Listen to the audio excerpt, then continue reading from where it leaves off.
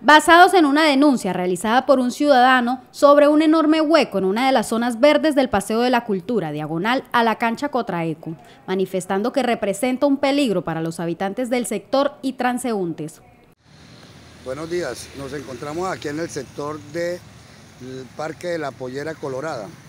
Eh, el motivo de este video es para manifestar una trampa mortal que hay diagonal a un estanco en esta glorieta es un orificio o una trampa de aproximadamente 3 o 4 metros de profundidad, donde la cual está corriendo agua por la, por la parte de abajo.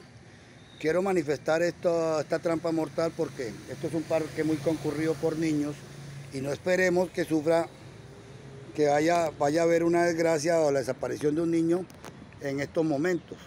Desde Enlace Noticias nos trasladamos hasta el lugar para verificar lo manifestado en la denuncia y nos encontramos con un hueco de aproximadamente 4 metros de profundidad al lado de un árbol de mango. Según lo evidenciado, el hueco no se ha hecho más ancho debido a que las raíces del árbol han sostenido un poco el terreno a pesar de encontrarse socavado por la parte de abajo del árbol y el pavimento, lo que lo convierte en una trampa.